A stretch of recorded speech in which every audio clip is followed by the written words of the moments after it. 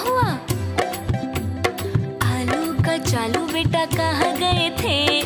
बैंगन की टोकर में सो रहे थे। बैंगन ने हाथ मारे रो रहे थे।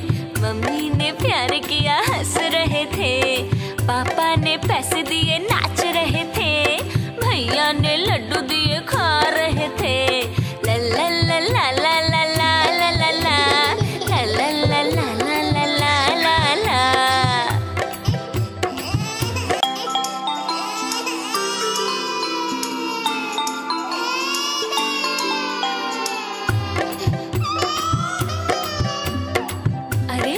क्या हुआ? आलू का चालू बेटा कहाँ गए थे? बैंगन की टोकरी में सो रहे थे।